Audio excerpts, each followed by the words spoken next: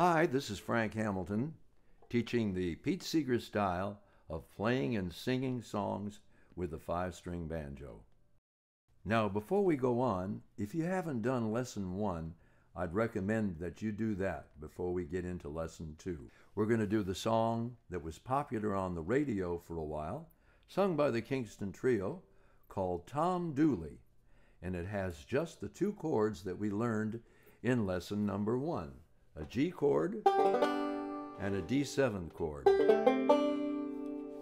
And hang down your head, Tom Dooley.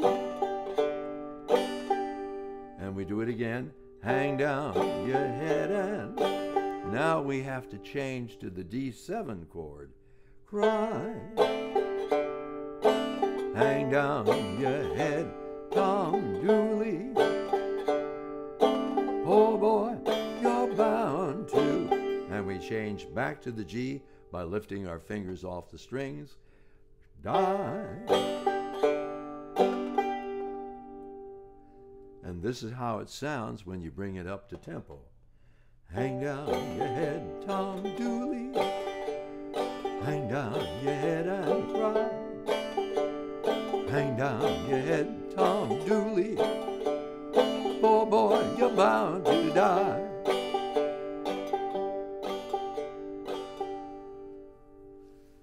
That's Tom Dooley. Of course, there are more verses, but get that first verse down with your playing and singing together. Now, that song is in 4 4 time or 4 quarter time, or what's commonly known as common time. It's counted out like this one, two, three, four.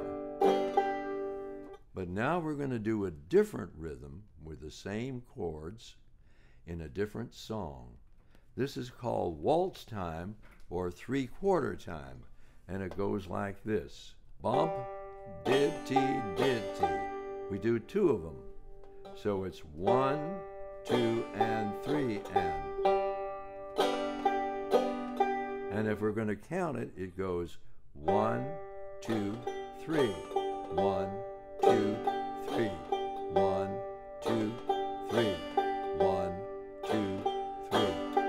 Waltz time. So now the song that we're going to do is a very classic song, iconic folk song called Down in the Valley. It was such a great song that a composer, Kurt Weill, even wrote an opera around it. It's just got two chords, and I think you've probably all heard it. So we'll try it with the three quarter strum now. One, two, and three, and. We come in on the word valley. Down in the valley.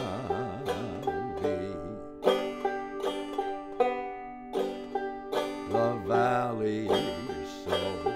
Now we change to a D seventh chord, low.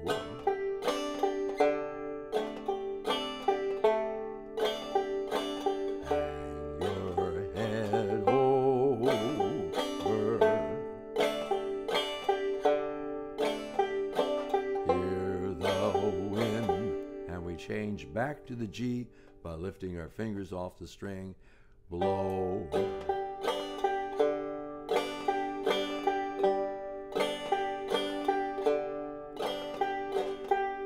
Now here's what the song sounds like when we play it up to speed. Down in the valley, the valley so low.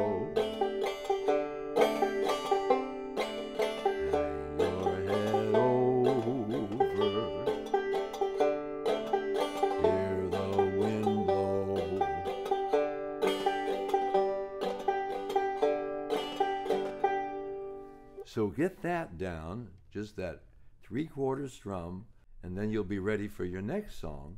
But we're not going to do that now. We're going to save that for the next installment. So I'd like you all to, if you like what you hear and you want to keep on going, check out the frankhamiltonschool.org or hit that subscribe button. There are plenty of songs we can do with two chords. Thanks a lot for being here and keep on picking. So long for now.